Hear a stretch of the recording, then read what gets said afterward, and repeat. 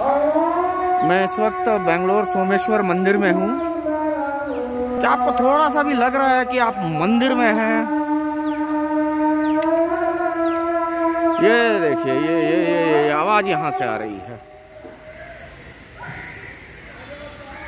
कौन इनको ज़मीन देता है? कैसे प्लॉट आवंटित होते हैं?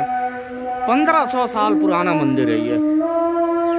और ये पंद्रह साल भी नहीं हुआ है जुमा जुमा अभी मंगल आरती का वक्त है। यहाँ पे आरती के लिए आए हुए थे। और देखिए।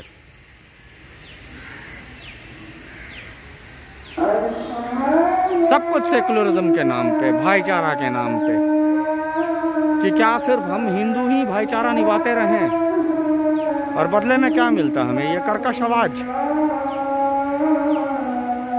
क्या सरकार को कोई पूछेगा? कि ईसाइयों को चर्च बनाने के लिए और मुसलमानों को मस्जिद बनाने के लिए इनकी मनचाही जगह कैसे मिल जाती है?